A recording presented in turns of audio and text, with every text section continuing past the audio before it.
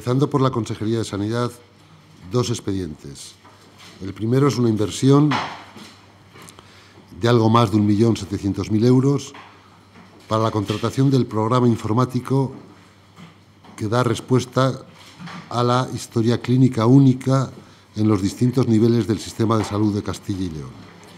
Y el segundo, también de esta misma consejería, es una inversión de 730.000 euros para equipamientos y suministros en el hospital, eh, en el complejo hospitalario de León y en el Hospital Universitario Río Ortega Valladolid. Cambiando de, departamento, de consejería y pasando a la Consejería de Fomento y Medio Ambiente, un expediente. Hemos aprobado un gasto de, algo más de 1.200.000 euros a las tareas de, de conservación y seguridad de las carreteras autonómicas. El objetivo de, este gasto es el mantenimiento de los vehículos pesados, ligeros y maquinaria que realizan las tareas de conservación de nuestras carreteras. En la Consejería de Agricultura y Ganadería un expediente. Es una subvención directa a la Universidad de Valladolid. El importe supera los 28.000 euros para la realización de un proyecto de investigación que analice las causas de alta mortandad de las abejas y si algunos pesticidas afectan o están afectando a su desaparición. Este, esta iniciativa, este, este estudio, se, enmarca dentro del Plan Apícola Nacional aprobado el pasado mes de julio por la Comisión Europea para el periodo 2014-2016. Ya por último, un expediente de, de la Consejería de la Presidencia, que es una subvención de 9.000 euros a la Asociación Francisco de Vitoria para colaborar en, los gastos corrientes derivados de la celebración de su asamblea anual correspondiente al año 2014 y que se celebra del 12 al 14 de noviembre en la ciudad de Burgos. Y a partir de este momento, si les parece, quedo a su entera disposición para lo que me deseen formular. Sí, bueno, lo primero, el día que la Junta tome una decisión, les aseguro que lo haremos en rueda de prensa y les informaremos a ustedes. Vamos a ver, yo creo que hay que centrar el asunto del toro de la Vega, hay que centrarle, ¿no? El debate. Lo primero es el respeto. Hay que respetar a aquellos que están a favor del toro de la Vega, de, de esta fiesta tradicional, y hay que respetar a los que a los detractores del toro de la Vega, a los que están en contra del toro de la Vega. Y además de respetarles, ellos se tienen que respetar unos a otros, que es lo primero que no ha pasado este año. Lo primero es el respeto. Hay gente que les, que les gusta este tipo de espectáculos taurinos y hay otros que no les gusta, pero se tienen que respetar las dos partes. No se puede resolver un asunto a pedradas como en la Edad Media. Además, es bueno recordar que estamos hablando de una fiesta taurina que está regulada, que es legal, que precisa autorización, que está autorizada y que está ordenada. Estamos hablando de un acto legal, una fiesta legal como otras muchas de otros tipos que hay a lo largo del territorio español, que está perfectamente regulada, que requiere una autorización, que hay un, yo no lo conozco internamente, pero que hay unos reglamentos internos, todo eso, eso está ahí y es legal. Entonces, insisto, primero, conocer eso. Parece que, es algo que no está regulado, que es, no, no, es algo que está perfectamente regulado, que a lo largo de su historia ha habido cambios en la regulación. Durante la dictadura se prohibió el toro de, de la Vega, también es bueno recordarlo, hubo unos años que estuvo prohibido. Esto está perfectamente regulado, autorizado, legal, ordenado y es una fiesta de interés turístico. Eh, si digo yo que se tienen que, si dice la Junta que hay que respetarse, respetar es no intentar imponer tu criterio a la fuerza. Lo lógico es respetar la opinión de unos y de otros, pero imponer tu criterio, sea mayoritario o minoritario, a la fuerza, sobre una actuación regulada, legal y, reglada, no creo que sea lo más adecuado. Intentar resolver esto a cantazos o a pedradas no es lo más adecuado. No es lo adecuado, para nada. Entonces, yo creo que lo que hay que hacer es, primero, tener claro el marco del que estamos hablando, de qué estamos hablando, ¿eh? y a partir de ahí se puede hablar, se podrá dialogar, el ayuntamiento podrá sentarse con unos y otros y buscar la mejor solución. Pero la solución no es acabar a pedradas, que es lo que está ocurriendo y este año ha sido eh, la gota que colmó el vaso durante los últimos festejos. Insisto, es algo legal, regulado, autorizado, ordenado. Es que da la sensación de que es algo que no está regulado, que allí cada uno hace lo que le da la gana. A unos les gustará más y a otros menos. Pero como ocurre con muchos espectáculos, con muchos espectáculos ocurre lo mismo. Pero lo que no se puede imponer es por la fuerza tu criterio. Segundo, sería bueno, sería bueno que el Partido Socialista aclarase cuál es su posición en este asunto.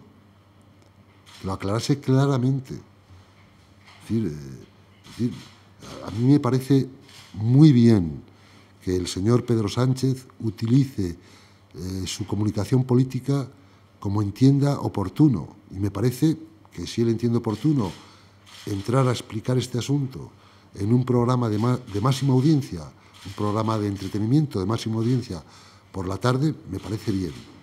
Pero podía haberlo hecho tres días antes llamando a su alcalde, que es socialista, a su alcalde de Tordesillas. O también podía entrar en un programa de entretenimiento en, un horario adecuado, de máxima audiencia, como hizo ayer, para explicar por qué el Partido Socialista Catalán ayer se fracturó en, la votación del debate de política general catalana. Podía explicarlo. Yo, yo no sé, yo de comunicación no sé nada. Si él cree que es como lo tiene que hacer, pero hombre, con un compañero, como es el alcalde eh, socialista de Tordesillas, entiendo yo que le podría haber llamado cuatro días antes para decir, oye, que mi postura es esta, que, que vamos a... Todo es legítimo. Yo no entro a juzgar. A mí me parece muy bien que él quiera entrar a explicar esto, nunca mejor dicho, a toro pasado, a toro pasado, en un programa de, diversión, de entretenimiento, de máxima audiencia. Me parece perfecto, perfecto, pero a toro pasado. Eh, podía haberlo hecho antes y a lo mejor se hubiesen evitado eh, bueno, los enfrentamientos que se produjeron el otro día durante la celebración del Toro de la Vega. Que se aclaren, eh, que tengan una posición única. No puede ser que el alcalde tenga una, el secretario general de los socialistas de España otra, los aspirantes a secretarios autonómicos cada uno una diferente, que aclaren, que se aclaren, por lo menos en este asunto. Sí, sobre este tema la Junta no se ha planteado cambiar la normativa sobre espectáculos taurinos. Mire, yo no sé ni siquiera en este momento, se lo digo sinceramente, si esto está regulado en la normativa espectáculos taurinos. ¿eh? No lo sé. Es decir, yo no sé, se lo digo sinceramente, yo sé, que es una fiesta de interés turístico y no sé exactamente en qué ámbito eh, se regula, ¿eh? de verdad. No crea que le estoy mintiendo. Piense que esto es, una, fiesta que tuvo, ya fue declarada fiesta no voy a remontar hace 500 años, no, no, pero le da un dato. Durante la dictadura estuvo suspendida durante ciertos años, no recuerdo cuándo y por qué. O sea, que ya era fiesta y fiesta tradicional, no sé cómo se llamaba, pero no, no, no sé. La Junta lo que dice es que todo se puede solucionar respetándose y hablando. Todo tiene solución en esta vida siempre y cuando prime el respeto y el diálogo. Y desde posiciones coherentes, y manteniendo, no, hoy me interesa decir esto, mañana que pasa el toro de la Vega digo otra cosa, hoy cae bien esto, mañana como cae mal digo lo contrario. Mire, hay un año por delante, hay un año por delante, pero con sosiego, no con pedradas. ¿eh? Se puede hablar de todo y todo tiene solución en esta vida y todo se puede y a todo se puede buscar una mejor solución, pero no olvidemos de verdad que estamos hablando de algo legal, autorizado, regulado, reglamentado. Lo que no es, lo que no es ni legal, ni está regulado, ni está reglamentado, es los cantazos.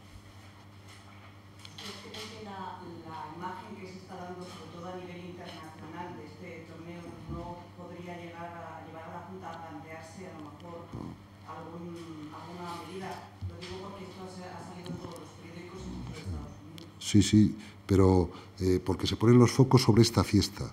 pero ¿cuántas fiestas hay a lo largo del verano similares en España?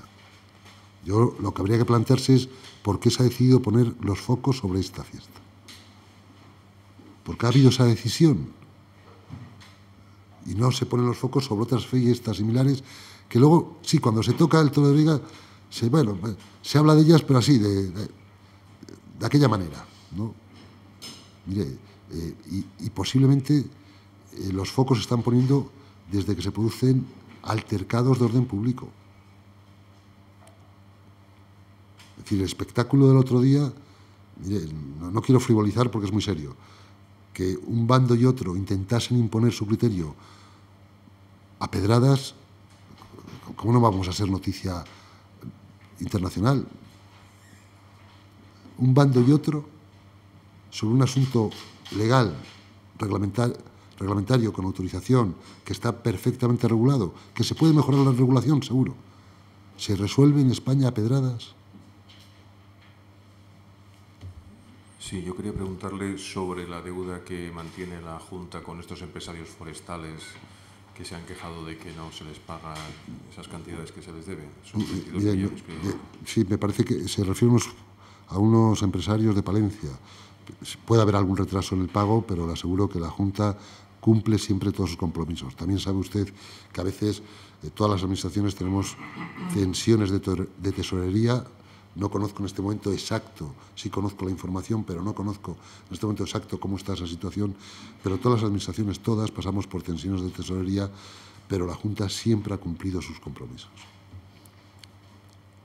Sí, quería conocer la postura de la Junta ante el anuncio esta semana y anteriores de una bajada de impuestos en Extremadura, Castilla-La Mancha, y una petición de agentes sociales e incluso políticos eh, para que la Junta haga lo mismo de cara al año que viene? Ahora que se están preparando los presupuestos, no sé cuál es su postura y si va a haber alguna bajada de impuestos. Bueno, lo primero, aclarar. Eh, yo desconozco la presión de los políticos del Partido Popular porque no la hemos, no nos ha llegado. ¿eh? Es decir, le, leímos la información porque había que leerla y porque leemos todo, pero parece que eran presiones anónimas, ¿no?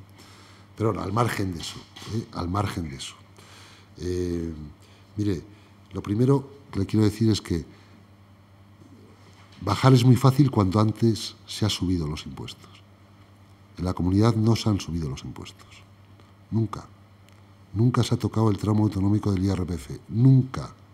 Claro, cuando tú lo has subido, luego es muy fácil bajar, pero es que nunca lo hemos tocado. Nunca. En segundo lugar, hemos mantenido los impuestos y hemos mantenido la calidad de los servicios públicos esenciales. Me gustaría conocer en esas otras comunidades autónomas que ahora bajan lo que subieron, que nosotros no subimos, y es fácil conocerlo, cómo están eh, en el ranking en cuanto a calidad de sus servicios públicos esenciales. A lo mejor nos sorprendemos, ¿no? Nosotros hemos mantenido la calidad. Seguimos en educación, en sanidad y en servicios sociales y en atención a las dependencias, seguimos en los primeros puestos. Hemos mantenido la calidad, a pesar de la crisis, a pesar de no subir los impuestos. Seguimos manteniendo la calidad. Otros subieron los impuestos, claro, ahora lo bajan, pero es que lo subieron previamente. Y la calidad cada vez está más baja de sus servicios públicos esenciales. Y en tercer lugar, mire, estamos estudiando en la ley de medidas algunas cuestiones, pero no está tomada una decisión. Sé que el próximo jueves tampoco van a pasar por alto y me lo van a volver a preguntar, pero ya saben que todos los septiembre le cuento los mismos. El día que presentemos la, el proyecto de ley de medidas, conocerán la decisión que hemos tomado. Pero vamos a esperar, vamos a esperar eh, unos pocos días. Estoy hablando de, de, como mucho un par de semanas, ¿no? Dentro de un par de semanas conocerán el contenido de la ley de medidas. Yo sé que ustedes la quieren conocer antes. Luego, cuando conozcan el contenido de la ley de medidas, quieren conocer ya el contenido de la ley de presupuestos, pero las cosas llevan su ritmo, ¿no? Y, las cosas hay que hacerlas así. Es decir, estamos estudiando, estamos analizando, todavía no se ha tomado ninguna decisión firme, pero insisto, es muy fácil bajar impuestos cuando antes les ha subido. Sobre contenido de la intervención de ayer del líder del PSOE, eh, sobre organizar de alguna manera las normativas autonómicas, de una, una única norma para controlar todo este tipo de, celebraciones. No sé si estarían de acuerdo en, hacer una norma de ese tipo que homogenice este tipo de celebraciones y por otro lado si, tienen constancia o si tienen potestad para hacer que se cumpla efectivamente el reglamento del toro de la Vega. Si tienen constancia de que, se, de que se cumple... Yo en cuanto al líder del PSOE no le oí. Yo, hasta donde sé, llamó pero no se le oía. O sea, no sé lo que dijo. Lo dijo el presentador, Jorge Javier Vázquez, dijo que, y era cierto, que estaba hablando con el, con el líder del PSOE, con Pedro Sánchez, era cierto. Insisto, yo no, yo no juzgo, ¿eh? me parece muy bien, cada uno lleva la política de comunicación que quiere y es un programa de, de máxima audiencia en una franja horaria muy buena, o sea que un programa de entretenimiento, cada uno, acuérdense que también hubo este debate con Óscar López cuando iba a la Noria, bueno, pues ya vimos luego los resultados que cosechó, el peor resultado de su historia, electoralmente. Recuerdan que hubo debate, si era bueno, si era malo, nosotros nunca entramos en eso. Eh, luego se vio que en las elecciones autonómicas, porque él aparecía abajo, si recuerdan, Óscar López, le ponían el cartito de candidato a la presidencia de la Junta, bueno, pues tuvo los peores resultados de la historia del PSOE. Bueno, pues no fue bueno. Hubo gente que creyó que era muy bueno, hubo politólogos que entendieron que era muy malo, otros que era muy bueno. Bueno, al final los ciudadanos decían las urnas. Yo en eso no entro. Pero yo no le escuché. Eso se lo han contado a usted. Yo no le escuché eso, porque no, no se le escuchaba a él. Ah, después. Ah, bueno, después, después lo que dijo, lo que dijo, lo que yo he leído, lo que yo he leído, ¿eh? seguramente se ha escrito tanto. Lo que yo he leído es que dijo que, que él si gobernaba lo iba a, iba a promover una ley para que no se volviese a producir el toro de la Vega, o para prohibir el toro de la Vega, que iba a promover una ley. Parece que no han gobernado nunca en este país. Habría que tirar de, diario de sesiones y verá la de veces que ha habido planteamientos en el Congreso de los Diputados en torno al toro de la Vega y tanto el, Partido Socialista o el Grupo Socialista en el Congreso de los Diputados como el Grupo Popular han apoyado el toro de la Vega eso no hay más que tirar del diario de sesiones y verlo, porque esto no es nuevo, esto pues, hace años ya se plantearon, eh, se plantearon estos debates. Yo lo que oí fue que dijo que iba a promover, bueno, pues, pues que lo promueva, puede intentar hacer una, ley, pero hablaba de una ley estatal, ¿eh? una ley estatal hablaba, no hablaba de, yo en ningún lado, oírle no lo hemos oído nadie, pero en ningún lado he, leído eso de que coordinar, no lo he oído. ¿eh? Yo, yo entiendo que sí, yo entiendo que sí. Es que, mire, yo no estoy encima pendiente de, la autorización, eso lo da el delegado de la Junta, lo vela por el cumplimiento del ayuntamiento y yo entiendo que sí. No, ha habido ninguna denuncia. Es que, ¿ha habido alguna denuncia de que no se cumple el reglamento? Yo no las conozco. Yo sí conozco a gente que le gusta ese espectáculo taurino, y a gente que no le gusta. Y que los unos y otros acaban a pebradas, pero ninguno ha criticado, ninguno ha denunciado que no se cumpla el reglamento. Yo creo que los más interesados, entiendo yo, en que se cumpla el reglamento son los defensores del toro de la vega. Sí, quería preguntarle cuando ha dicho que están estudiando eh, algunos cambios o, bueno, cómo se configura esa ley de medidas y después el, presupuesto. Dentro de ese, ¿estamos estudiando entrar una potencial bajada de impuestos? Estamos estudiando, como todos los años, cuando eh, elaboramos la ley de medidas, como todos los años. Esto no se hace frívolamente, un día te levantas y dices, estamos estudiando y para estudiar hay que ver cómo evolucionan los ingresos, los gastos que prevemos para 2015, la evolución de los ingresos en 2015, qué necesitan eh, los, departamentos que, gestionan servicios esenciales, sanidad, educación. Esto no es una frivolidad, lo hacemos todos los años. ¿eh? Esto no es que uno anuncie de repente, todos los años. Y hay un momento del año, una vez que se ha debatido, se ha estudiado, se ha analizado, se toma una serie de decisiones, pero es que las, decisiones eh, no se toman así. Bueno, pues ahora, como parece que este año es electoral, no, no, no, no, no. Mire, esto es mucho más serio que todo eso. Estamos hablando de mantener la calidad de los servicios públicos esenciales, educación, sanidad y servicios sociales, y también atención a las dependencias, que es lo que más preocupa siempre a los ciudadanos y más en época de crisis. Entonces estamos viendo la evolución que prevemos de ingresos, la evolución que prevemos de gastos, y ahí ajustaremos, pero no tengan prisa, lo van a conocer los primeros, los primeros lo van a conocer. Cuando tengamos ya cerrado. Si yo entiendo que, que su oficio, su trabajo, su profesión les empuja a conocerlo un poco antes, pero es imposible.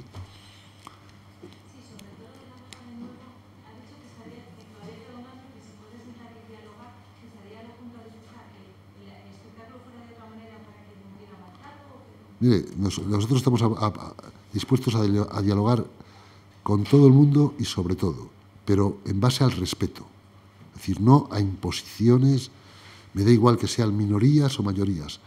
Y además esas imposiciones apedradas. Por ahí no va a pasar la Junta porque entiende que, que aquello es una insensatez.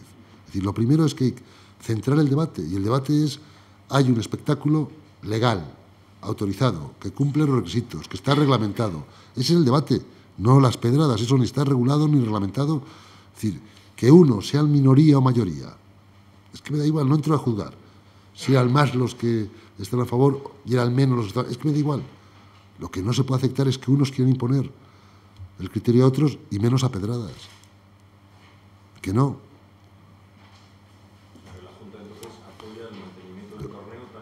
Yo, yo, yo, he hablado todo lo que tenía que hablar, si les parece, el toro de la Vega, que entiendo que en fechas como esta le preocupa, pero llevo contestando a siete preguntas. Yo digo que la Junta lo que dice es que es un espectáculo legal, autorizado, reglamentado, ordenado, y que el ayuntamiento vela porque se cumpla esa reglamentación o ese reglamento que tiene el toro de la Vega. Y que la delegación vela cuando da la autorización, de que eso se cumpla. Y que hay unos señores que les gusta y otros que no les gusta. Y que unos quieren imponer el criterio a otro. Mire, no se pueden imponer tus deseos a otros. Se podrá hablar, se podrá razonar, se podrá dialogar, pero imponer nunca. ¿Alguna pregunta más sobre el toro de la Vega? Pero sobre el tema del análisis y de, la valoración de, las medidas fiscales para el próximo año, no sé qué lugar ocupa el recargo de hidrocarburos, si estaría dentro de los primeros que se están ustedes revisando, de los del centro, de los... Estamos revisando todos, le aseguro que estamos revisando todos, todos, todos los, los impuestos eh, propios y cedidos, todas las tasas, pero lo hacemos todos los años, lo digo sinceramente. el año que decidimos incorporar, que fuimos la última, 2010, el, impuesto sobre hidrocarburos, tampoco fue un capricho. Es que necesitábamos ese dinero para mantener la calidad de la sanidad, lo necesitábamos. Y de hecho se ha mantenido la calidad de la, sanidad. Mire, lo terrible es que hubiésemos utilizado esa, ese impuesto sobre hidrocarburos y que además de utilizarle, la calidad del sistema sanitario público de Castilla y León hubiese caído. Se mantiene entre las cinco mejores. Y lo hicimos para eso, no fue un capricho. Ah, bueno, vamos a recaudar más. No, no, es que era necesario para mantener la calidad del sistema sanitario público de Castilla y León. O sea, estamos analizando, se lo digo sinceramente, todos, analizando, viendo la estimación de gasto que podemos tener en 2015, cómo puede evolucionar, viendo los ingresos, cómo pueden evolucionar, y con eso tomaremos una decisión, pero lo hacemos todos los años, no es un año especial, no es un año especial. Parece que para otros es un año especial y que lo quieren anunciar muy pronto, porque, no, no, mire, es que esto es muy serio. Si es que, si es que los servicios públicos esenciales no se acaban en mayo de 2015. Hay que seguirles prestando en junio, en julio, en agosto, en septiembre, en octubre, en noviembre y en diciembre y tienen que seguir funcionando adecuadamente y correctamente los centros de salud, los hospitales, las escuelas, las universidades. Es que no se acaba el mundo en mayo del 2015.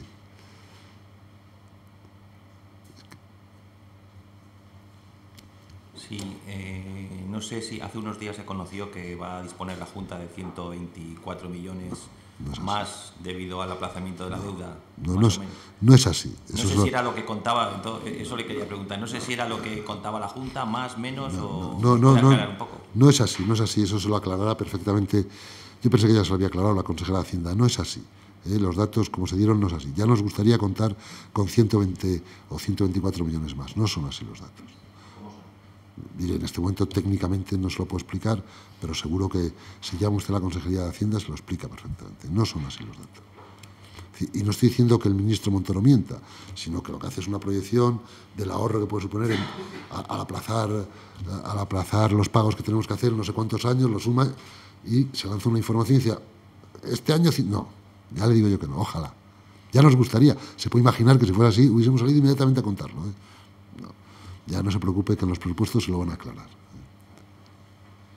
Ayer el Consejo de Cuentas dio un porcentaje del número de, entidades locales que, van rindiendo cuentas. No sé si qué le parece el porcentaje y si van a llegar a tiempo. Y si en el caso que no lleguen a tiempo, ¿cómo sería esa realidad que nos encontraríamos? Visto lo que pone la ley sobre la no rendición de cuentas. Sí, bueno, yo creo que las cosas, yo los datos se conozco, ¿eh? no, no conozco si más datos. Parece que que León dio una rueda de prensa y parece que las entidades locales menores de, León en este momento van muy por encima de lo que iban en cuanto a, presentación de cuentas que, iban otros años. O las cosas van mejor. ¿Sabe usted que cuando no hay tradición en una cosa, y eso es muy, nuestro, muy del pueblo español, eh, se suele dejar para el final? ¿no? Es decir, eh, eso lo hacemos también a, título individual, también, pues se hace también a título colectivo. Lo importante es que la Junta ha dado todos los pasos que, cree, que, creía que debía dar para facilitar que se rindan cuentas. Hemos potenciado a las dos diputaciones que más número de entidades locales menores, porque se concentran, como sabe usted, igual o mejor que yo, León, Palencia y Burgos, las hemos potenciado con 180.000 euros para facilitar que presenten cuentas.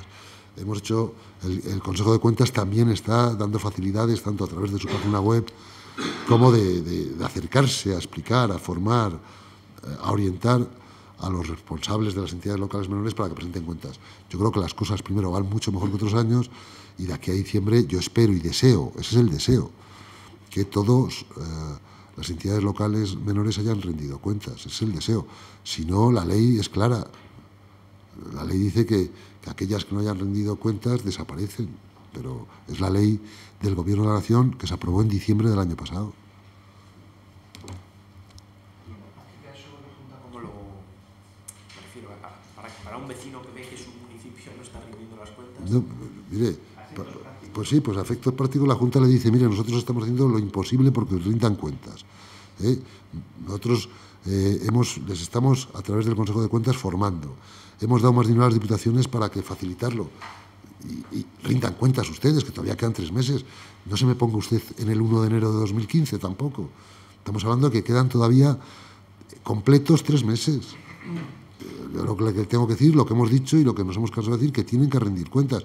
Y si ellos no quieren rendir cuentas, bueno, ellos saben las consecuencias de no rendir.